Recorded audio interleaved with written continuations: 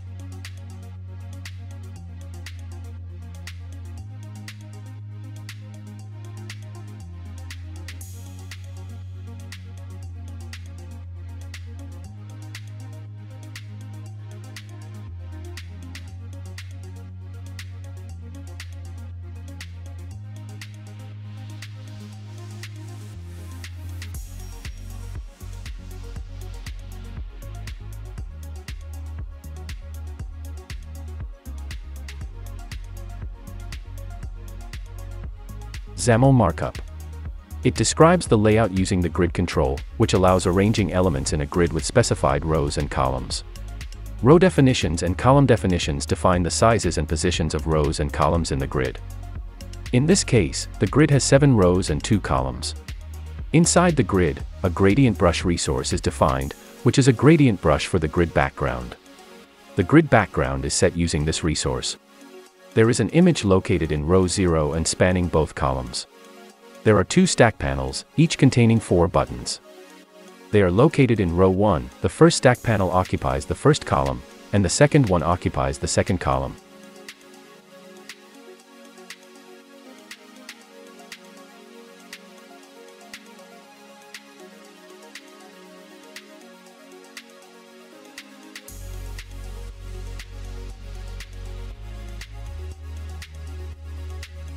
Toggle button, combo box, view box, toggle button, text block, and button are also added to the grid and located in different rows and columns.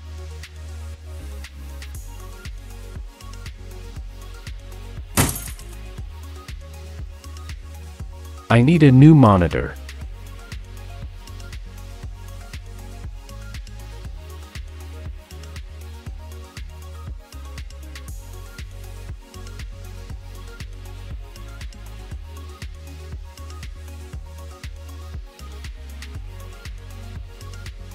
There is a button named Start Timer button that starts a timer.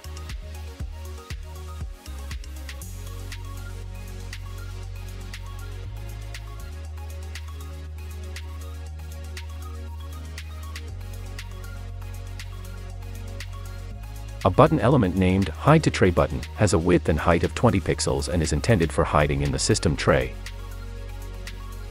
C-sharp code. The main window class is the main window of the application. Let's break down its functionality. In the constructor of main window, the initialization of the main application window occurs.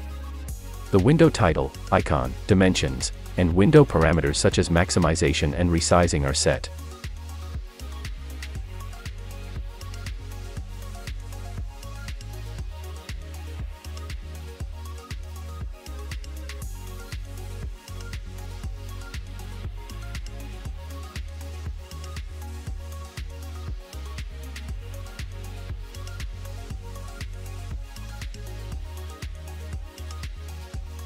A dispatcher timer object is created with an interval of 1 second, which calls the timer tick method on each tick.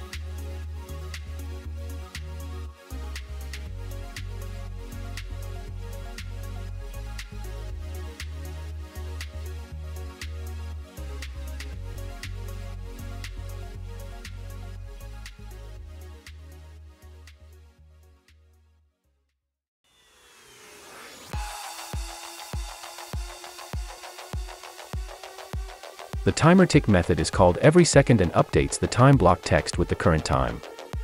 If the Start Timer button is activated and the current time matches the set time, time span, then a full screen window object is created, which launches a specific effect in full screen mode depending on the selected option.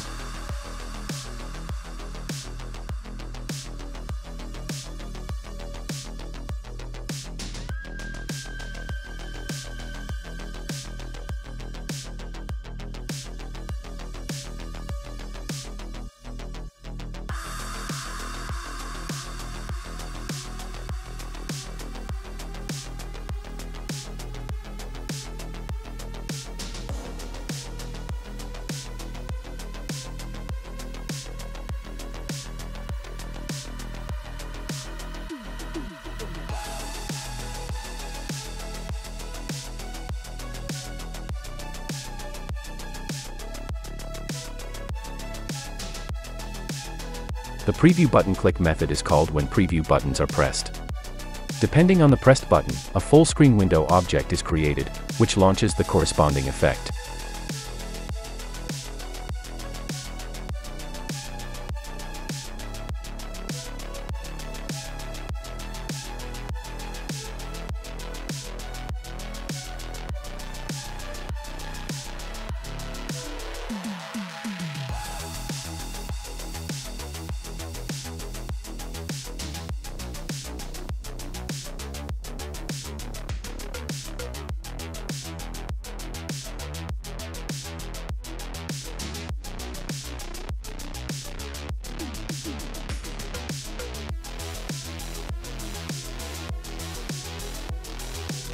The Start Timer button click method is called when the Start Timer button is pressed.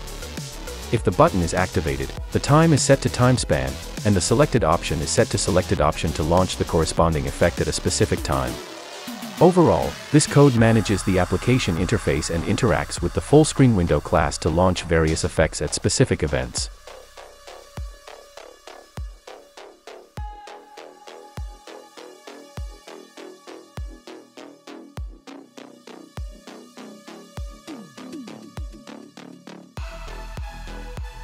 Full screen window class.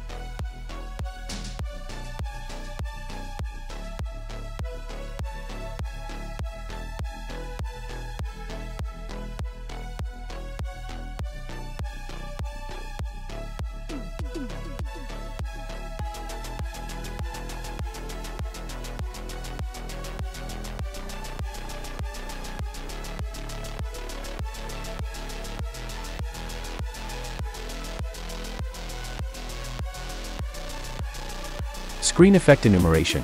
This enumeration defines various types of effects that can be applied to the screen. Effects include freezing, upside down, random color, earthquake, snow, lines, puzzle, and screen of death. Private variables.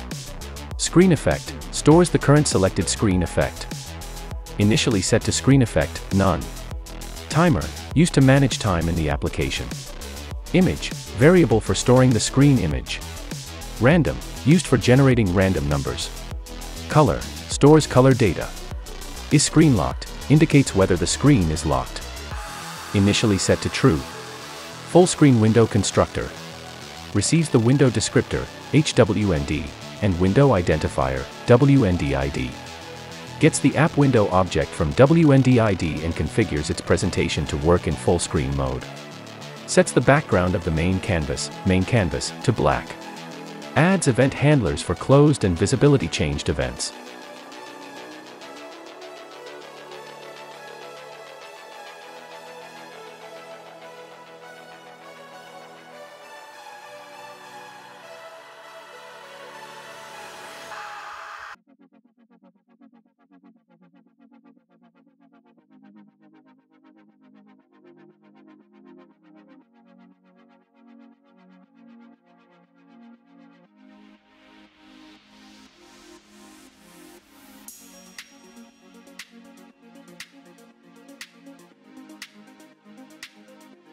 Grid Preview key down. If the F12 key is pressed, then the value of is screen locked is set to false, indicating that the screen is no longer locked. It checks if the timer is running, and if so, it stops. Clears the collection of child elements of the main canvas. Otherwise, else, the screen remains locked by setting is screen lock to true. Grid key down. If the screen is not locked, is screen locked equals false, then the close method is called, which closes the window. Start freezing takes a screenshot of the screen. Start upside down takes a screenshot of the screen and rotates the main canvas by 180 degrees.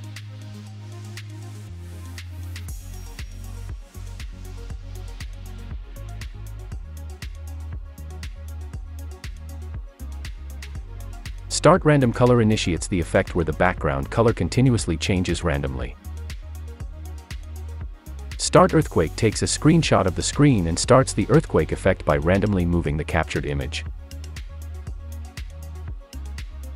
Start Snow generates white ellipses, snowflakes, on the screen and animates their opacity to create a falling snow effect. Star T Lines takes a screenshot of the screen and continuously draws randomly colored lines on the screen. Start Puzzle hides the main canvas, creates a grid of puzzle pieces from the screen capture, and shuffles them to create a puzzle effect.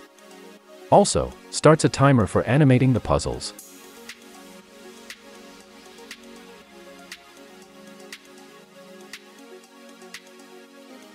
Create Grid creates a grid of images for the puzzle effect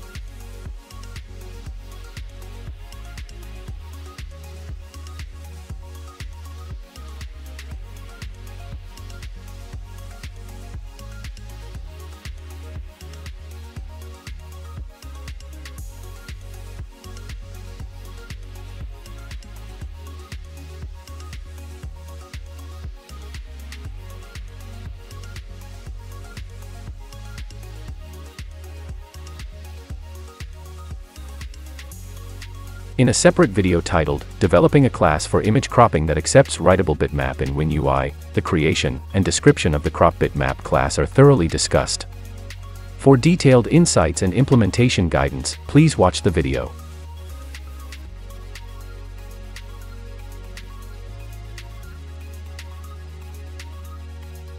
Start Screen of Death displays the screen of death image covering the entire canvas area.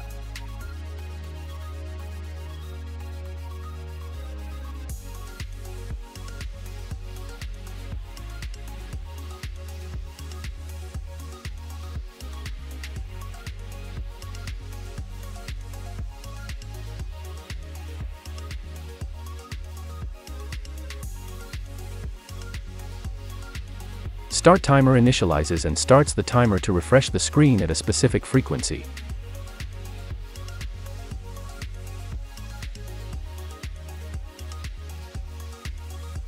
Timer Tick handles the timer tick event and applies specific visual effects depending on the current screen effect value.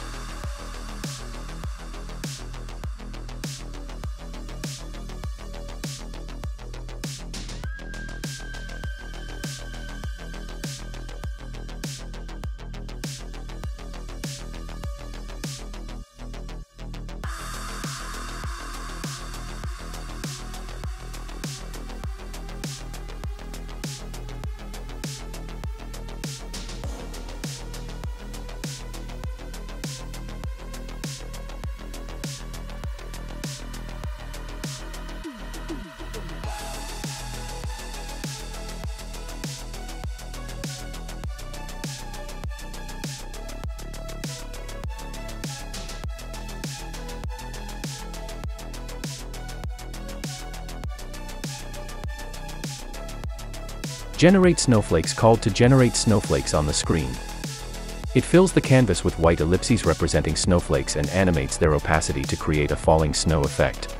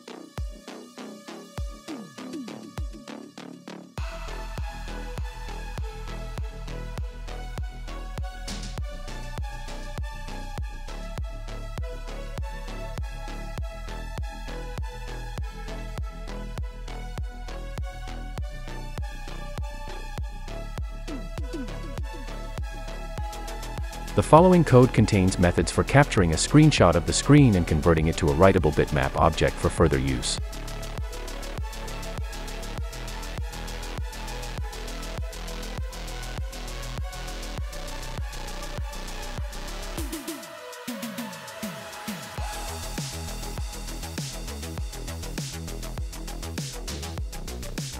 Take Screenshot captures the desktop screenshot and displays it on the main canvas.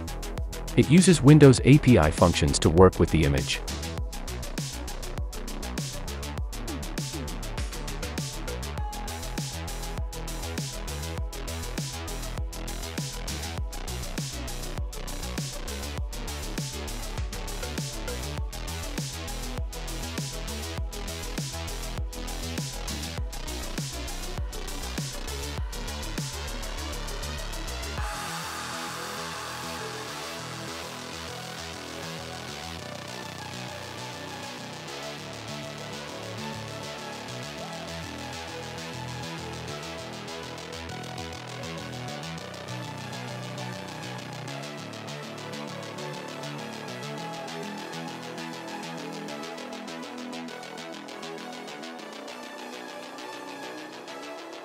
Get capture writable bitmap takes the monitor device handle, m underscore h bitmap capture, and converts it into a writable bitmap object.